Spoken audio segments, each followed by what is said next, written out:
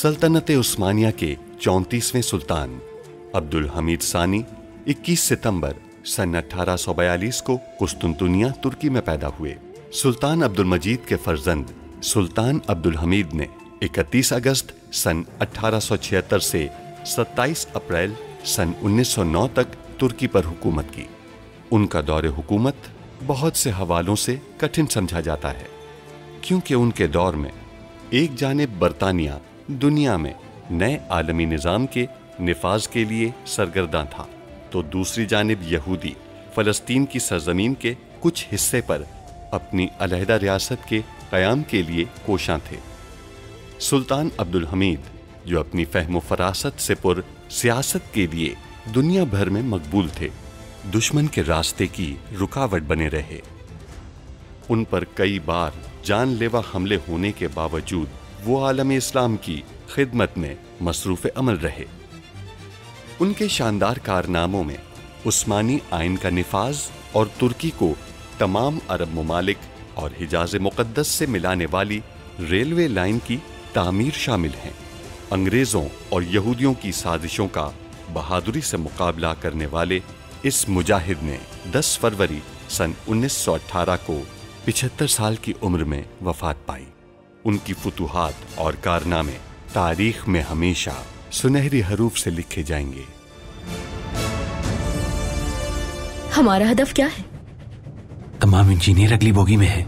उनकी हिफाजत करनी है। आपको नायमे के नज़दीक जाते देखना हमारे लिए नाकाबिले बर्दाश्त है। ये हमारा पागलपन ही सही मगर हम चाहते हैं कि नायमे मर जाए। बर्बाद हो जाऊँगी। ये बात झूठ बोलने से पहले सोचनी चाहिए थी। कल सुबह ये दस्तावेज़ कमालुद्दीन पाशा के हाथ में होगी। सबसे आगे जो सिपाही है उसे जिंदान में डाल दो। अभी हम ये कर्ज अदा करने के लिए तैयार नहीं है। इस सूरत में कर्ज वसूली के दूसरे तरीके इख्तियार करेंगे। मसलन इजमीर और इस्तांबुल की बंदरगाह पे पाबंदी आयद कर सकते हैं। क्या हुआ? क्या हुआ मेरी बीवी को? अरे क्या कर रहे हैं भाई? छोड़े। हिम्मत कैसे हुई मेरी बीवी को? हाथ लगाने की। जब तक हम इस तख्त पर विराजमान हैं ज़मीन का टुकड़ा भी आप हासिल नहीं कर सकते। छोड़ दीजिए यार, मैं रहे मत मारिए मुझे। मैंने ऐसा कुछ नहीं किया मैंने कहा ना कि मैंने मोहतरमा के साथ कुछ नहीं किया मेरी बात बरतानवी सफीर से कहो कि वो अब्दुल हमीद के पास जाए और कर्ज की अदायगी के लिए हतमी तारीख दे दे और बंदरगाह पर कब्जे की तैयारी करे। मगरिब से तरबियत याफ्ता इंजीनियरों को हिदायत की गई है कि वो तरबियत दें और नए इंजीनियर बनाएँ। बंद कर दीजिए। वास्ती के साथ जो खेल खेल रही है वो बंद कर दीजिए। उससे शादी करके खुद को आग में मत जलाइए। नज़र और अकल। ये हमारी कौम की इंतहाई खास खूबियाँ हैं। हम 200 सालों का सफ़र 20 सालों में तय कर सकते हैं। आपसे ये आखिरी मुलाकात हम कभी नहीं भूल पाएँगे। सलीम पाशा ने चंद तालब इलमों का इंतखाब किया है। अक्लमंद और बाकिरदार तालिब इल्म। उनकी तरबियत में कितना वक्त लगेगा? सुल्तान मौजम कुछ ऐसे मंसूबे हैं जिनमें उनको शामिल किया जा सकता है लेकिन कम अज कम छह महीने का वक्त दरकार होगा। इस अरसे में आप हमारे तेल के पहले कुएँ पर काम शुरू कर सकते हैं। जी बिल्कुल। अपने तमाम दोस्तों को आगाह कर दीजिए। वो अपने खाने पीने का खास ख्याल रखें। पुरहजूम और गैर महफूज मकाम पर जाने से गुरेज करें। मेरे सुल्तान उनके लिए मुहाफिज दस्ता मुकर कर दिया है। वो मुकम्मल हिफाजत में है। आ जाएँ।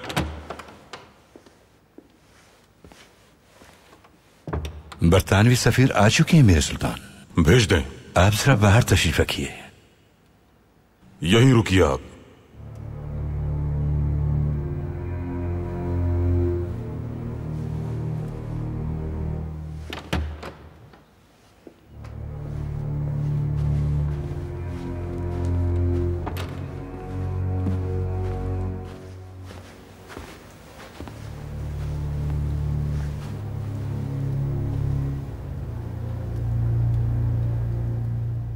खुश आमदीद बहुत शुक्रिया सुल्तान मौसम कहिए।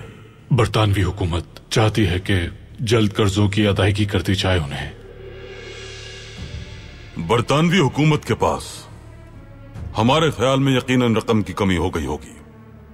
आप अचानक 25 साल पुराना कर्जा सामने लेकर आते हैं और फौरी अदायगी का मुतालबा करते हैं। हमारे पास आप ही की अदालत के दिए हुए 25 साल पुराने फैसले मौजूद हैं। वो अदालत जो रिश्वत लेकर फैसले करती रही। अगर कर्ज की अदायगी नहीं कर सकते हमारी पेशकश बरकरार है। इजमीर और इस्तांबुल की बंदरगाहें हमें दे दीजिए। मामला खत्म कीजिए। आपके पास 24 घंटे हैं।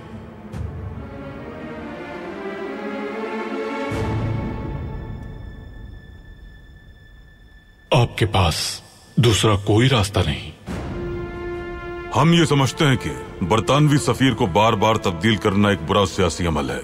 समझा नहीं मैं। यही तो मसला है। कि आप समझते नहीं। फिर दूसरा गैर तरबियत याफ्ता आ जाता है। हमने पिछले सफीरों की भी सिफारती तरबियत की थी। वो सब बगैर किसी तरबियत के पाए तख्त में तैनात कर दिए गए थे। एक हमसे तरबियत लेकर जाता है तो उसकी जगह। फिर दूसरा नौ आमूज आ जाता है। हम आपको भी सब सिखा देंगे, फ़िक्र न करें। फिर आप भी वापस चले जाएँगे। ये मेरी दरखास्त नहीं, बरतानवी हुकूमत का मुतालबा है। या तो कर्ज अदा करें या फिर हमारी शराइत को कबूल कर लें आप।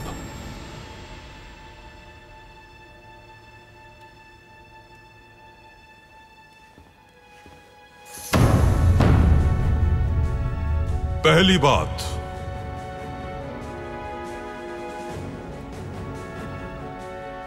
हमारी इजाज़त के बगैर जा नहीं सकते आप।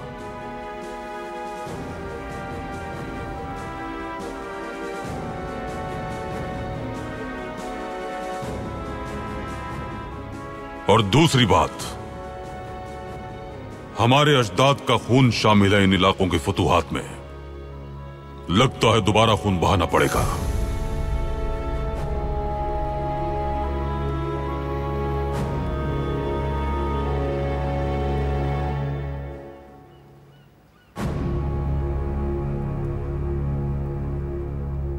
जा सकते हैं आप।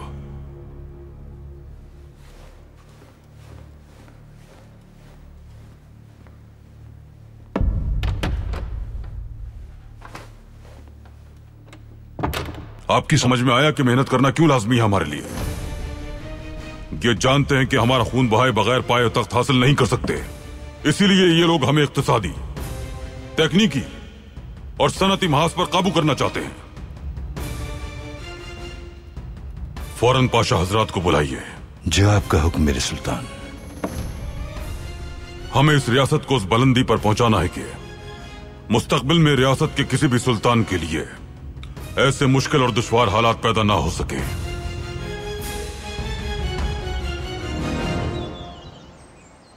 यकीन नहीं आ रहा। आखिर वो ऐसा कैसे कर सकती हैं? आखिर कैसे फहीम है? हाँ? कमालुद्दीन से मिलने कैसे जा सकती है वो? हमने उन्हें बहुत समझाया लेकिन वो नहीं मानी। मोहब्बत ने उन्हें अंधा कर दिया है और उन्हें लगता है कि आसपास भी सब अंधे हैं। नज़रों में आ जाएँगी जल्द सबकी। पुप्पी जान?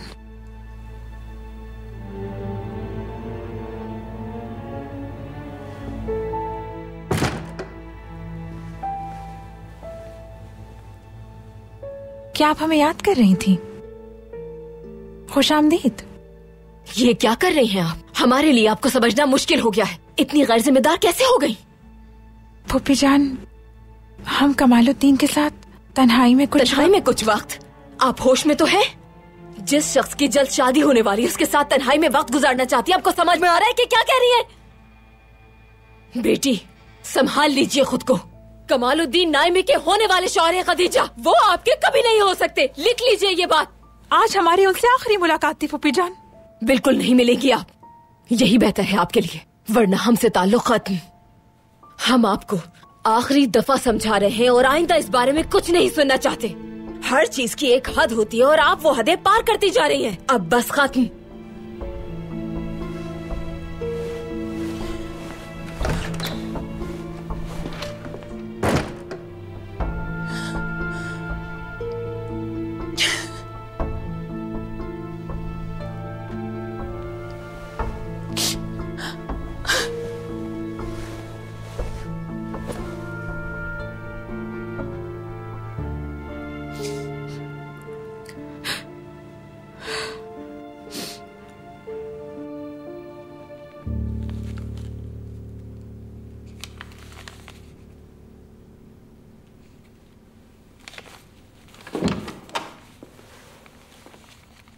अब्दुल कादिर? वालिदा? शहजादे हम आपको जब भी देखते हैं आप काम में मसरूफ रहते हैं। हमें आपकी सेहत की फ़िक्र हो रही है। वालिदा इस बार सुल्तान मौसम को मायूस नहीं करना चाहते हम। आपके बाबा आपसे और आपके काम की वजह से काफ़ी मुतमईन हैं। वरना आप जानते हैं वो आपके कहने पर महमूद पाशा को फ़ौरन कबूल ना करते। आपको सुल्तान की ज़िंदगी में अपनी अहमियत समझनी चाहिए अब्दुल कादिर। और अब जब आप बाकायदा काम का आगाज़ कर चुके हैं तो ये शादी का भी मुनासिब वक्त है। हमें तो लगता है कुछ देर हो गई है। हमारी रियासत को नए वारिस का इंतज़ार है शहजादे। आसन ने हमें इनकार कर दिया है। मालूम है आपको? आसन के अलावा और भी लड़कियाँ हैं अब्दुल कादिर। हमारा दिल उनकी अमानत है वालिदा। क्या आप ज़िंदगी भर उनका इंतज़ार करते रहेंगे? अब्दुल कादिर। देखिए शहजादे। वासवी साहब की हमशीरा गुलनाज उनकी तरफ़ देखिए। किसी की तरफ़ नहीं देखना चाहते हम। अब जाइए हमें कुछ काम करना है।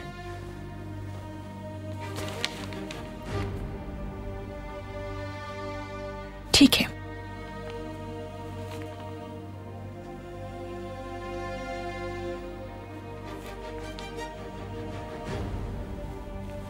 ठीक है।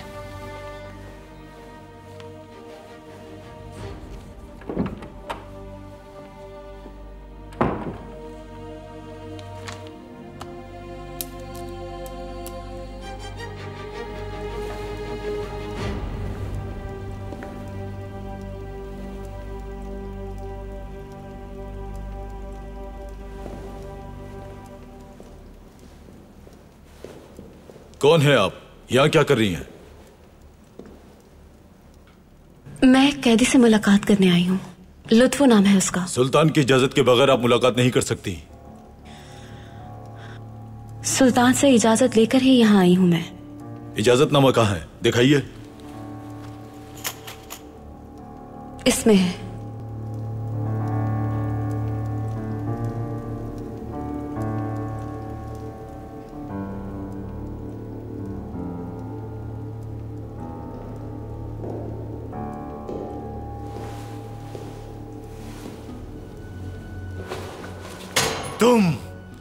तुम्हारी वजह से मैं यहाँ हूँ।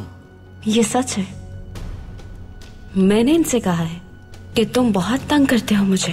मक्कार जब मैं तुम्हारी सच्चाई बताऊँगा तो कोई तुम्हारा यकीन नहीं करेगा। तुमने मेरे खानदान के मुतालिक झूठ बोलने का मामूली सा इल्ज़ाम लगाया है मुझ पर। लेकिन मैंने जो तुम पर इल्ज़ाम लगाया है वो बदकिरदारी का है। अगर तुम यहाँ से निकलना चाहते हो तो मेरे बारे में अपना मुँह बंद रखना, समझ गए? वरना फांसी हो जाएगी। इसमें जो भी लिखा है, उसी को अपनी तहकीकात बताना। कहना तुम्हें यही मालूमात मिल सकी है। जैसा मैं कहती हूँ, बस वैसा करो तुम। तुम्हें यहाँ से निकलवा लूँगी मैं।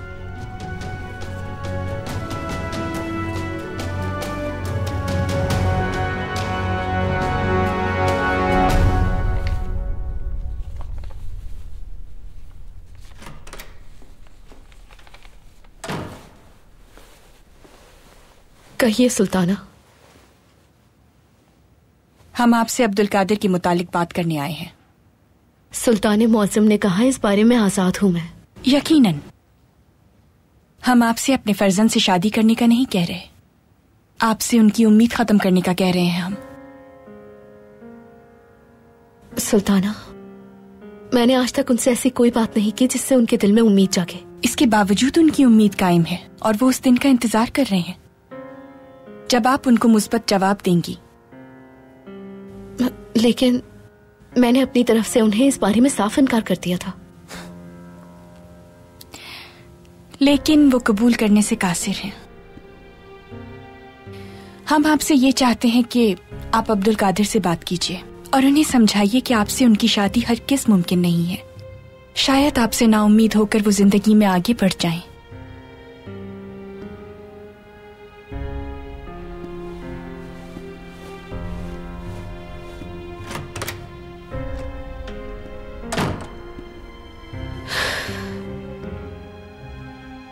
उनका जहन बदलने के लिए क्या करूँ आखिर मैं?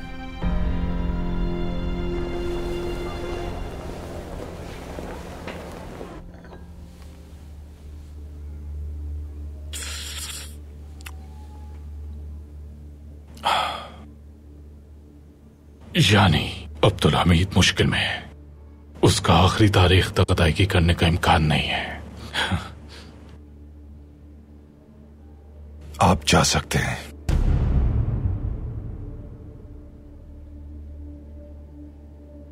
निकल जाओ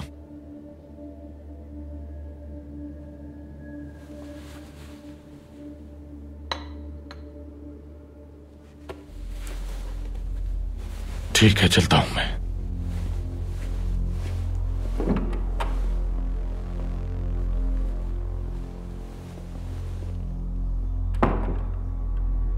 सब ठीक तो है?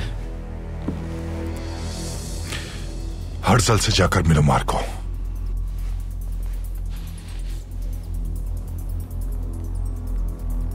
ये क्या है?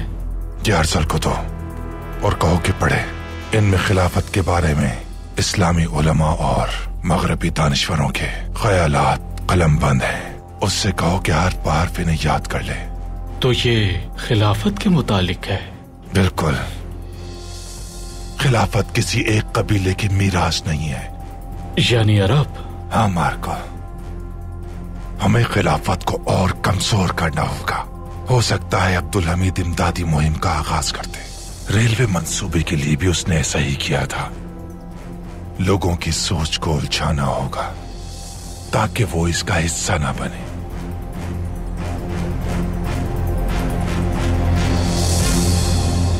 रियासती मामलात में लापरवाही का नतीजा सिर्फ़ बर्बादी होता है।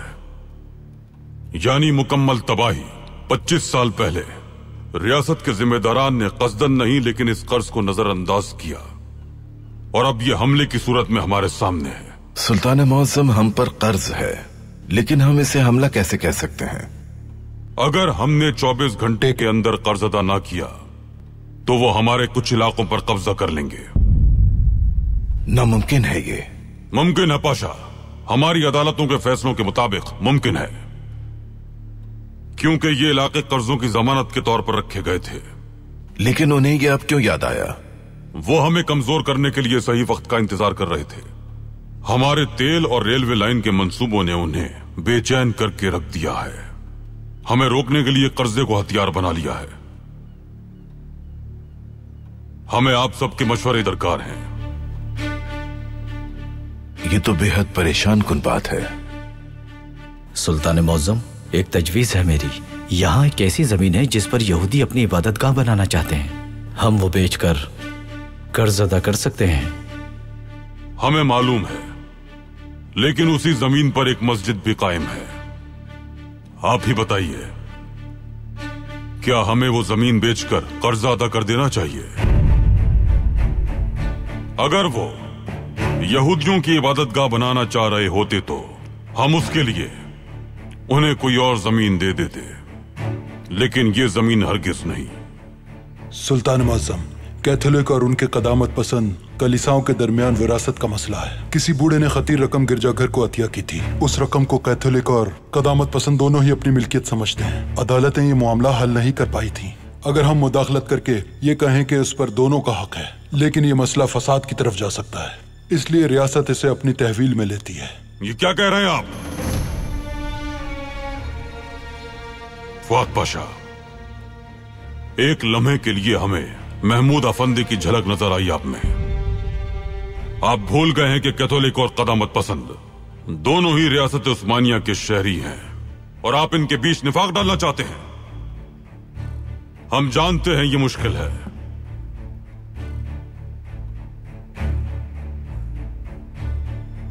क्या मुश्किल है मेरे सुल्तान? बेईमान से लड़ते हुए। ईमानदार रहना मुश्किल है। दुश्मन शातिराना चालें चलता रहेगा लेकिन हमें इंसाफ पर कायम रहना है। अल्लाह हमारे साथ है और हम अल्लाह की मदद से इस मसले का हल निकाल लेंगे। मेरे सुल्तान अगर अवाम से मदद तलब की जाए हमारे लोग रियासत के लिए सब कुछ कुर्बान कर सकते हैं। हरगिज नहीं पाशा। सुल्तान मौसम हमने रेलवे मंसूबे के लिए मदद तलब की थी और पड़ोसी मुल्क ने हमारी मदद की थी। वो मसला और था पाशा। हमें रेलवे लाइन के मंसूबे के लिए लोगों से अतियात मिले थे। लेकिन वो लोगों की खिदमत का मंसूबा था। कौम को सहूलत पहुँचाने के लिए था। लेकिन हम अपनी मासी की गलतियों और कोताहियों का तावान अपने लोगों पर नहीं डाल सकते। हरगिज नहीं। तो फिर क्या हम उन्हें कब्जा करने देंगे सुल्तान मौसम? कभी भी नहीं पाशा। हमारी ज़िंदगी में ऐसा नहीं होगा।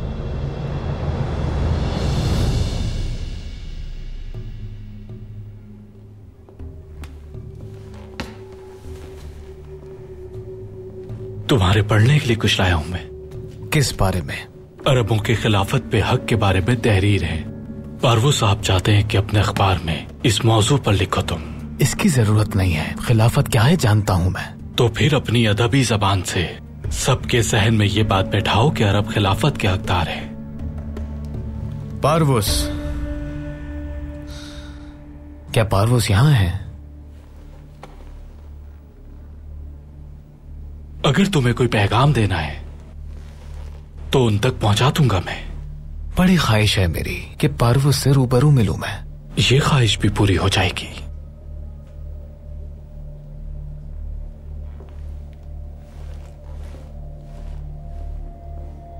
शायद हम मिल चुके हैं।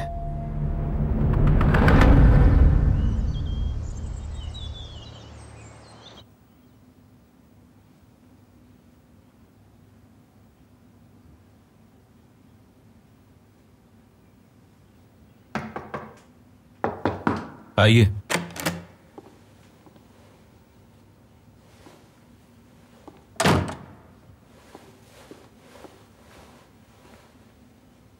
आपने मुझे बुलाया पाशा? जी। हमारे सिपाही लुत्फों के मुतालिक कोई दरखास्त करनी है?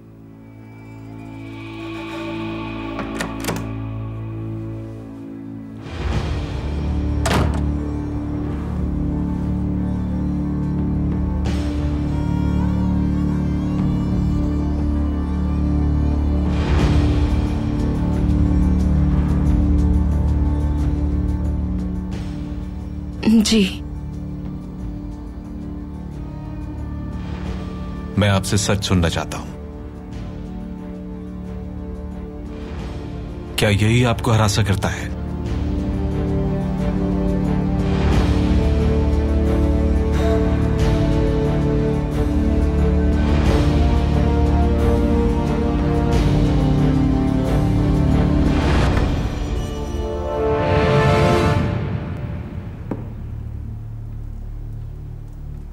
खेल पसंद आ गया है आपको। मेरे सुल्तान में खेल तो रहा हूँ लेकिन जीतने के काबिल नहीं हुआ। पांसों की इस शतरंज में ग्रेफेंड साहब तीर मोहब्बत के किले से टकराता है तो इसका मतलब है कि महबूब मिल गया है। हर शय मोहब्बत से है। मोहब्बत हर मसले का हल है। मेरे सुल्तान मैंने भी कभी मोहब्बत की थी। ग्रेफेंड आफंदी। यह आपकी किसी औरत से मोहब्बत के बारे में नहीं है। ये इश्क हकीकी से मुतालिक है।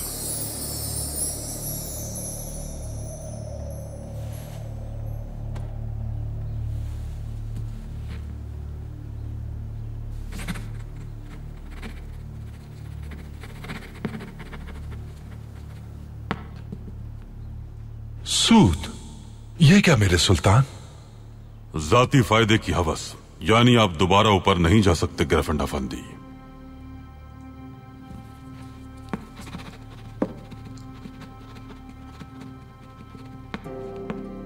हाजत। इसका क्या मतलब? जिस वक्त जिस चीज़ की आपको सबसे ज़्यादा ज़रूरत हो। बिल्कुल हसबे हाल है। हमें इल्म भी है और शायद आपको ज़रूरत भी है। मैं आपकी आँखों में देख सकता हूँ। अगर मेरे पास आपकी ज़रूरत के मुताबिक रकम होती तो मैं आपको ज़रूर दे देता। बहुत शुक्रिया आपका। अब्दुल कादिर अफंदी अगर अपने हिस्से गैर मुल्की कंपनी को फरोख्त कर दें तो ये मसला हल हो सकता है। क्या कहते हैं आप? क्या ऐसा करना ठीक नहीं होगा? हम इस मसले का हल ढूंढ लेंगे ग्रेफेंड अफंदी फिर भी जानना चाहते हैं कि वो क्या कहते हैं इस बारे में। उनकी पेशकश का भी अंदाज़ा हो जाएगा। हाँ हाँ क्यों नहीं? बेफिक्र रहिए, कोई परेशानी की बात नहीं। हिस्सेस चाहे किसी के पास भी हो, हमारा काम नहीं रुकेगा। हम फैसला कुन हिस्सेस खरीद सकते हैं, और इदारे के मामला जैसे आप चाहेंगे वैसे रहेंगे।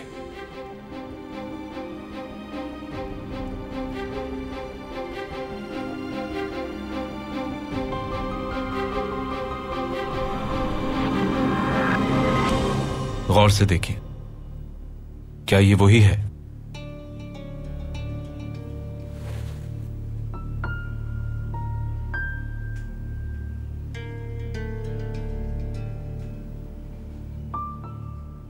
मैंने इस सिपाही को आपकी तहकीकात करने के लिए बुरसा भेजा था।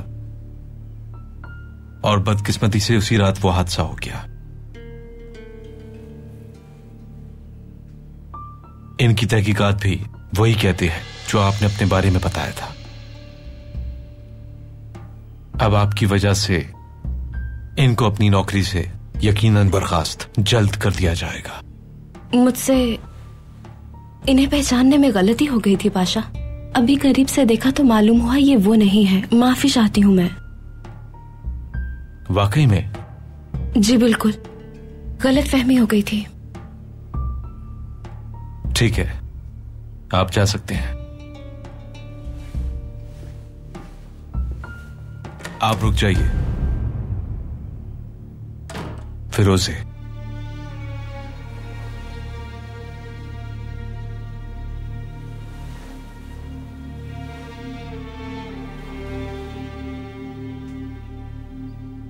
बेदार सुल्ताना आप पर शक करने के लिए हक बचानिब थी।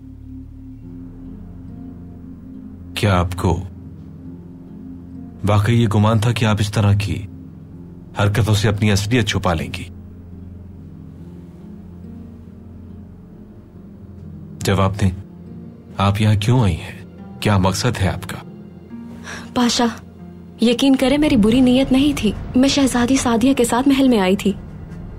मुझे अपनी पहचान छुपानी पड़ी, क्योंकि अगर बेदार सुल्तान को पता चल जाता तो यहाँ नहीं रहने देते। खामोश। एक जानिसार सिपाही को बदनाम और बद किरदार साबित करने की वजह काबिल कबूल नहीं हो सकती। वैसे भी, तुम जैसी लड़की इस महल में रहने के काबिल नहीं है, समझी? मैं जैसे ही आपके मुतालिक मालूम बेदार सुल्तान को बताऊँगा वो खुद ही आपको निकाल देंगी। याद रखिए मेरी बात। जाए। मैंने कहा जाए आप फ़ौरन।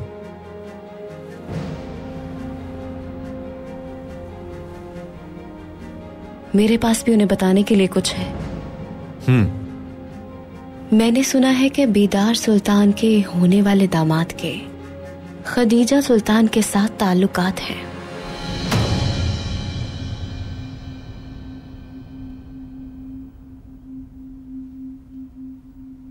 क्या कह रही हैं आप? सच नहीं है ये। इनकार मत करें कमालुद्दीन पाशा। मेरे पास खदीजा सुल्तान का आंसुओं में भीगा मोहब्बत नामा मौजूद है। तुम्हें कहाँ से मिला वो मोहब्बत नामा जो तुम्हारे पास है। तुमने हमारे सामान की तलाशी ली है हुँ? मुझे लगता है तुम भी अपनी माँ की तरह चोर मेरी माँ का नाम मत लीजिएगा। जाए और जाकर बता दे कि मैं झूठी और चोर हूँ। फिर मैं उन्हें वो दे दूँगी जो मैंने चुराया है। और यकीनन, बीदार सुल्तान को वो खत पढ़ने में बहुत दिलचस्पी होगी। आखिर उन्हें भी तो पता चले कि महल में चल क्या रहा है। शहजादी खदीजा आपके इश्क में इतनी पागल हो गई है कि शहजादी नायमे की मरने की दुआ करती है। बीदार सुल्तान को जब ये पता चलेगा तो वो शहजादी खदीजा का क्या हाल करेंगी?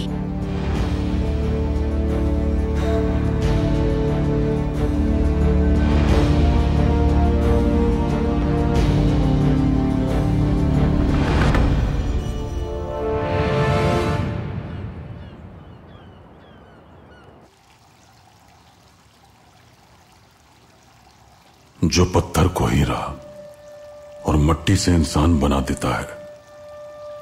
जर्रे को आफताब कतरे को समंदर बना देता है जो हर मसले को आसान कर देता है। वही हमारी परेशानी खत्म करेगा इंशाल्लाह।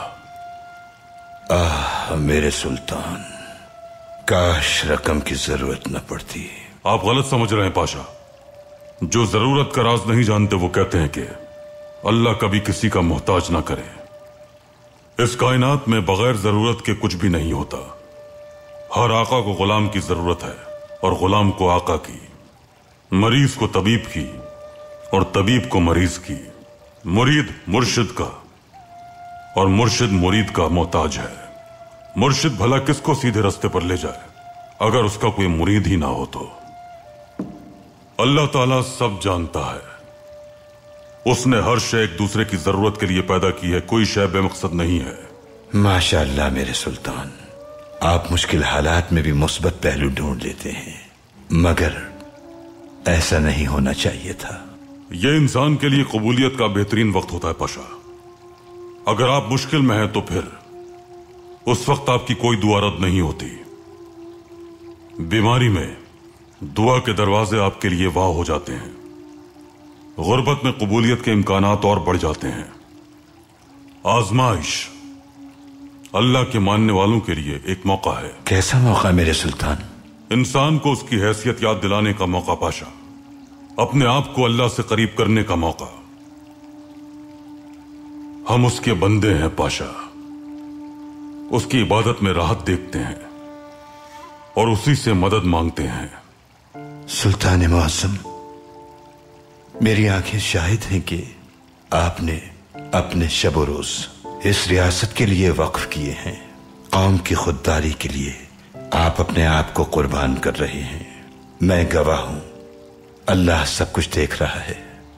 पाशा हजरात, आपका खानदान, आपके बच्चे, आपकी कौम को काश इसका एहसास होता। इन सबको आपके मकसद में शामिल होना चाहिए था। सुल्तान मौसम अगर आप इजाज़त दें तो पाशा काफ़ी है। तहसीन पाशा हमारी तारीफ़ करके हमारा दिल फखर से दागदार न कीजिए। क्या आप चाहते हैं कि हम मगरूर हो जाएँ? माफ़ कीजिएगा सुल्तान मैं अपने आप पर काबू न रख सका। पाशा ये हमारे मसाइल हैं। अल्लाह हमारे लिए आसानी फरमाएगा। परेशानी के वक्त बोझ को बांटने वाला साथी मिलना बहुत मुश्किल होता है। आपने हर मुश्किल में हमारा साथ दिया है। दुआ है अल्लाह आपको इसकी जजा अता फरमाए। इंशाअल्लाह सुल्तान मौसम, इंशाअल्लाह। लेकिन अगर हम कर्ज अदा ना कर सके तो हमारी कौम का मुस्तकबिल और वकार तारीख हो जाएगा। पाशाह घोड़ा तैयार करवाए। मेरे सुल्तान इस वक्त कहाँ जा रहे हैं? तलाश करने। क्या?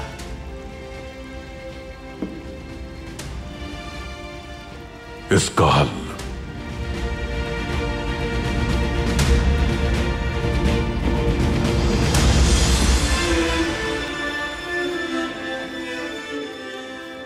खिलाफत पे सल्तनत उस्मानिया ने या वो सुल्तान सलीम के ज़रिए वार किया।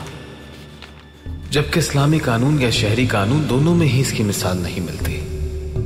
अब मैं आपसे पूछता हूँ, खिलाफत की हकदार पैगंबर की साथी अरब कौम है या तुर्क, जिन्होंने साजिश और ताकत से कब्जा हासिल किया?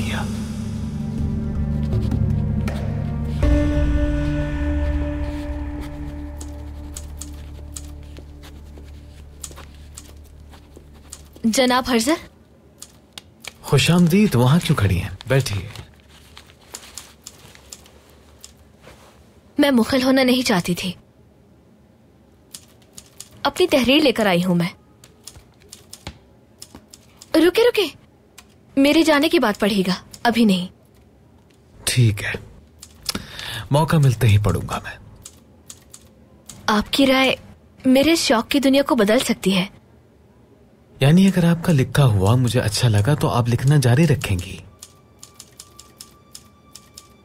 मुझे पूरा यकीन है बहुत अच्छा ही लिखा होगा आपने।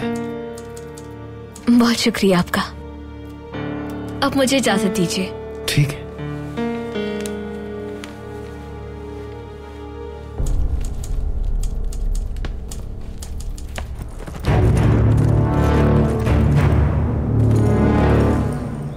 रास्ते में तन्हा ना छोड़ना अल्लाह मदद फरमा। वो रास्ते में नहीं छोड़ेगा मदद करेगा। क्या कहा आपने? वो रास्ते में नहीं छोड़ेगा मदद करेगा। किसने कहा ये आपसे? हमारे मोहतरम आतिफ आफंदी ने कहा है। आइए बैठकर बात करते हैं। आइए।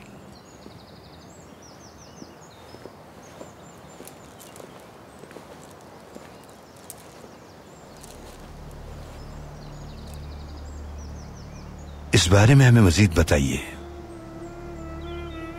अगर इल्म के सर चश्मे तक अपना रास्ता बना लूँ और वो लम्हा हासिल कर लूँ, मोहब्बत के कारवां में शामिल हो जाऊँ तो वो कभी मुझे तनहा नहीं छोड़ेगा, मदद करेगा मेरी। मोहब्बत करने वालों के हमेशा गुलाब ताज़ा रहते हैं ज़िक्र तौहीद जबां पे जारी रहता है।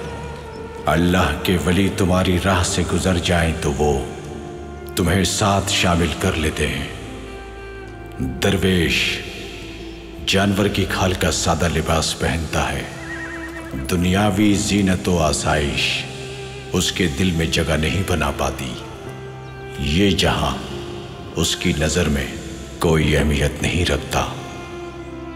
अगर कोई शख्स इसमें राज़ी है तो वो कभी ठुकराया नहीं जाएगा। यानी उसको इनकार नहीं किया जाएगा। हरगिज नहीं हरगिज नहीं।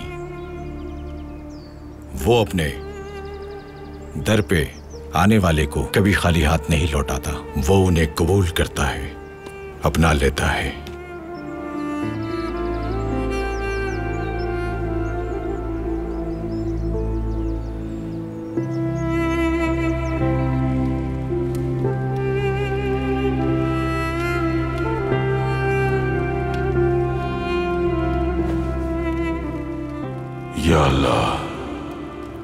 हमारे पास बस एक कुटिया और चटाई होती। काश हमें इन कठिन इम्तिहानात से ना गुजरना पड़ता। माल, दौलत, सल्तनत, आसाइशें नहीं, बल्कि आजमाइशें होती हैं। हर लम्हा एक नई आजमाइश।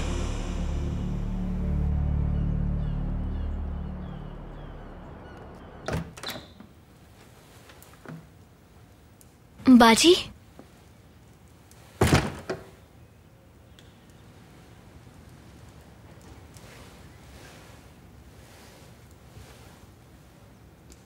हम एक मरतबा चचा जान से बात कर लें। फिर जाने की तैयारी शुरू करते हैं। हम खाला के पास इधर ना जा सकते हैं। हुँ? क्या ख्याल है? बाजी। कमालुद्दीन पाशा। उन्होंने बुलाया है आपको। क्या कहा कहाँ है वो? आपका इंतज़ार कर रहे हैं वो। कोई अहम बात है। हम जानते थे हम जानते थे वो नहीं रह पाएँगे। वो परेशान लग रहे थे।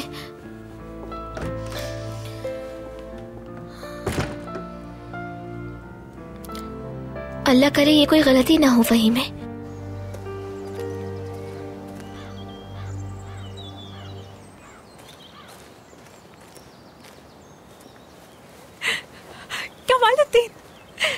हमें पूरा यकीन था कि आप हमें रोक लेंगे। खदीजा ये इन बातों का वक्त नहीं है। हम एक बहुत बड़ी मुसीबत में आ गए हैं। कैसी मुसीबत? शहजादी सादिया की आया फिरोजे उसे वो खत मिल चुका है जो आपने मुझे भेजा था। वो हमारे बारे में सब कुछ जानती है। ल, लेकिन कैसे? फिरोजे को वो खत कैसे मिला? बेदार सुल्तान ने कहा कि उसके बारे में पता करें। हमारे कागजात में से उसके हाथ में ये खत लग गया। अब वो मुझे धमकी दे रही है कि बेदार सुल्तान को मेरी असलियत बताई तो वो खत उनके हवाले कर देगी। या अल्लाह अब क्या होगा? मालूम नहीं हमने उस खत में क्या लिखा था।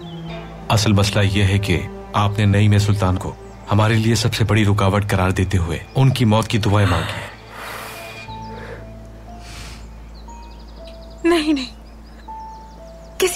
में वो खत बेदार सुल्तान तक नहीं पहुँचना चाहिए। आप वही करें जैसा वो कहती है। क्या करूँ मैं? क्या करूँ?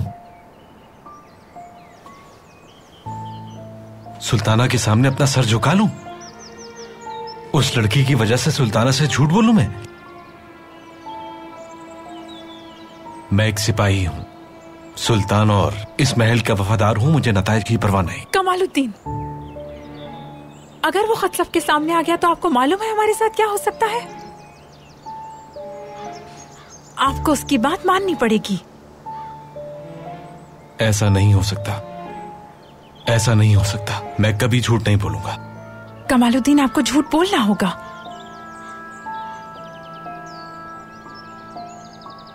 बात समझिए कमालुद्दीन।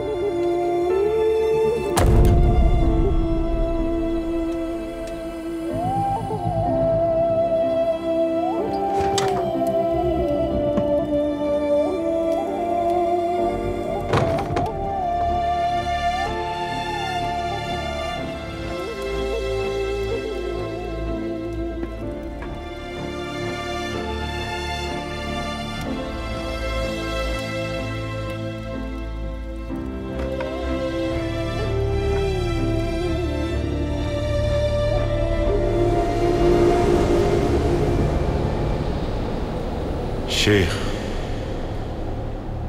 उस्मान, गाजी, एक ख्वाब आपको नींद से जगाकर यहाँ लेकर आया है।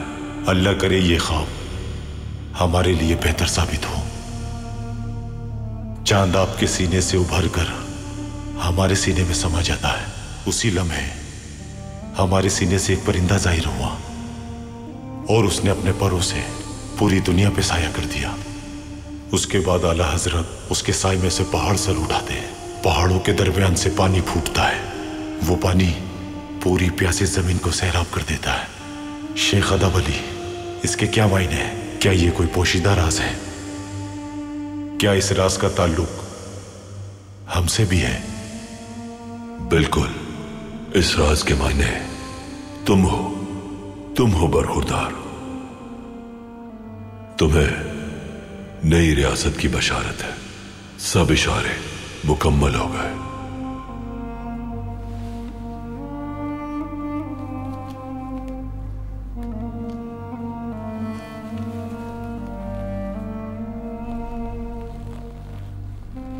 ये तलवार हज़रत उस्मान रज़ी अल्लाह तु की है।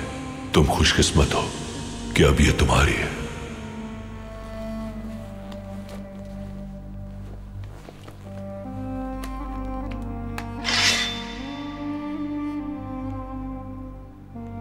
कबीले की निशानी। हम बता चुके हैं कि सारी निशानियाँ मुकम्मल हो चुकी हैं। ये पहली निशानी थी।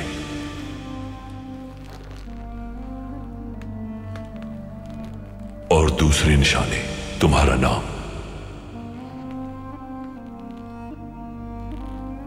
और तीसरी, तुम्हारा ख्वाब। अल्लाह रियासत पर अपना करम करे। तुम्हारी नस्ल में बरकत हो। सल्तनत अब तुम्हारी है।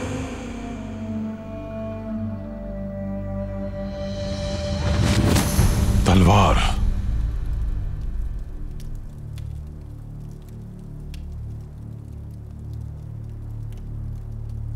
शेख अदब अली। गलत नाम लिया आपने। मेरा नाम गालिब है। आप अपने घोड़े को प्यासा छोड़कर यहाँ आए हैं। इसका मतलब है आप किसी बड़ी परेशानी में हैं। बताइए मुझे। हमारी मुश्किल बड़ी है लेकिन इस मुश्किल से बड़ा हमारा परवरदिगार है। बेशक।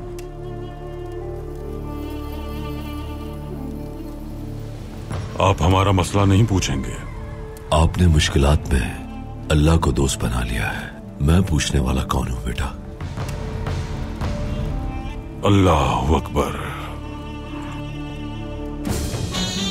जुमे की नमाज़ के बाद हज़रत उस्मान की तलवार थाम कर खड़े होंगे हम।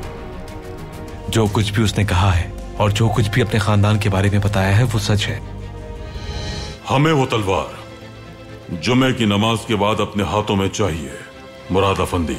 मुराद हमेशा मेरे साथ होते हैं। वो मेरा बहुत ख्याल रखते हैं। आप मेरी फ़िक्र ना कीजिए शहजादे। हम ज़रूर कर्ज अदा कर देंगे। वो भी इदारे के हिस्से फरोख्त किए बगैर। फिरोजे बाजी का कमालुद्दीन को लिखा गया खत मिल गया है उसे। क्या? अगर आवाज़ निकाली तो? खेल खत्म